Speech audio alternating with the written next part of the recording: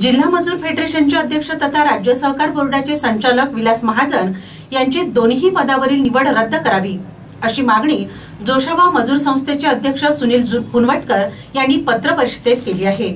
याबाबतची तक्रार विभागीय सहनिबंधकाकडे केली असून या प्रकरणी काय कारवाई केली जाते याकडे सर्वांचे लक्ष लागले आहे. दारव्हा रोडवरील एका निवासस्थानी आयोजित पत्रकार परिषदेत पुनवटकर यांनी हे आरोप केलेत. विधान परिषदेचे विरोधी पक्षनेते तथा मुंबई मध्यवर्ती सहकारी बँकेचे संचालक आणि प्रतिज्ञा मजूर कामगार संस्थेचे सभासद प्रवीण दरेकर यांच्यावर दोन जानेवारी दोन हजार बावीस रोजी कारवाई करण्यात आली. त्यानुसार येथील मजूर फेडरेशनचे अध्यक्षही कारवाईस पात्र ठरत आहे. विलास सुधाकर महाजन हे गेल्या अनेक वर्षांपासून नियमित उत्पन्न कर भरीत आहे. त्यांच्याकडे दोन पॅन क्रमांक आहे. एकाच व्यक्तीकडे दोन पॅन क्रमांक असणे हा आर्थिक गुन्हेगारीचा भाग आहे. महाजन यांच्याकडे यवतमाळ येथील शिवाजीनगर येथे पाच हजार स्क्वेअर फूट जागेवर घर आहे. त्याची किंमत कोट्यवधी रुपये इतकी आहे. महाजन यांच्याकडे असलेल्या कोणत्याही मालमत्ता वडिलोपार्जित नाहीत. यवतमाळतील राजन्ना अपार्टमेंटमध्ये चार फ्लॅटची नोंद आहे. पांढरकवडा रोडवर बायपासला लागून नऊ हजार स्क्वेअर फूट जागेवर आलिशान पॅडरॉईज नावाचे बार आणि रेस्टॉरंट आहे. बार चालविण्याचा आवश्यक व्यवसाय परवाना आहे. यवतमाळ ते पांढरकवडा रोडवर पॅरोडाईज बारच्या बाजूला नऊ हजार स्क्वेअर फूटचा खुला प्लॉट आहे. जयहिंद चौकात इमारत आहे. मुंबई येथे महालक्ष्मी रोडवर फ्लॅट आहे. नागपूर येथे लक्ष्मीनगर येथे तीन मजली इमारत आहे. कळंब तालुक्यात नागपूर हायवेवर मोठी शेती आहे. बाबुळगाव तालुक्यात मादनी येथे दहा एकर शेती सुद्धा आहे. डिसेंबर दोन हजार एकवीसमध्ये उत्तर प्रदेशात कानपूर येथून विमानाने प्रवास करून आले. पत्नी बाबाजी दाते महिला अर्बन बँकेच्या मुख्य कार्यकारी अधिकारी आहेत. आणि या बँकेचे त्यांच्यावर कोट्यवधी रुपयाचे कर्ज थकीत आहे. अग्निशस्त्र परवाना सुद्धा त्यांच्याकडे आहे. तसेच दोन चारचाकी आलिशान वाहने आहेत.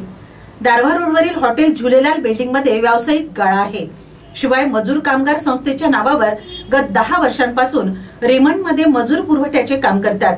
मात्र या संस्थेचे सर्व रेकॉर्ड त्यांनी सहकार विभागा- विभागापासून लपवून ठेवलेले आहे संस्थेचे एक करंट खाते त्यांची पत्नी सीईओ असलेल्या बँकेत असून या खात्यात जमा होणाऱ्या कोट्यवधीच्या रकमेचे एक टक्का कमिशन अद्यापही संघाला मिळालेले नाही.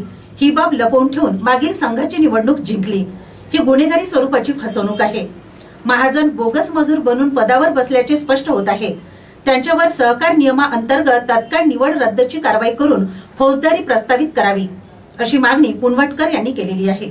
सहकारी संस्थांचा संघ ज्याला आम्ही फेडरेशन म्हणतो या संघाचे अध्यक्ष आणि राज्य सहकार बोर्डाचे संचालक श्री विलास सुधाकर महाजन हे कथितरित्या बोगस असल्याबाबत अनेक पुरावे दाखल करून आम्ही विभागीय सहनिबंधक सहकारी संस्था अमरावती यांच्याकडे गेल्या तेवीस फेब्रुवारीपासून तक्रार केलेली आहे. या संदर्भातले सगळे पुरावे विलास सुधाकर महाजन यांच्याकडे असलेल्या सगळ्या संपत्तीचे पुराव्यासहित आम्ही यांच्याकडे दिले विभागीय संनिबंधकांना सादर केले.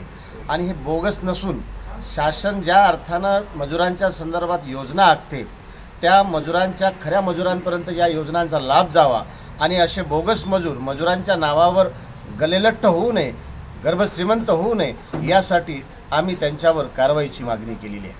त्यांना मद पदमुक्त करावं आणि त्यांना सहकारी संस्थांच्या संघातून मजूर या व्याख्येतून बसत नसल्यामुळे त्यांना याच्यातून वगळावं अशी या स्वरूपाची मागणी आम्ही सहकार विभागाकडे केली आहे.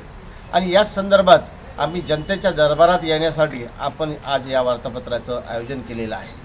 या माध्यमातून आमची मागणी राज्य शासनापर्यंत सहकार विभागापर्यंत पोचवावी आणि विलास सुधाकर महाजन हे कशा रीतीनं बोगस मजूर आहेत हे आपण वार्तांकनातून त्यांना पटवून द्यावं अशी आपल्यास मागणी आहे.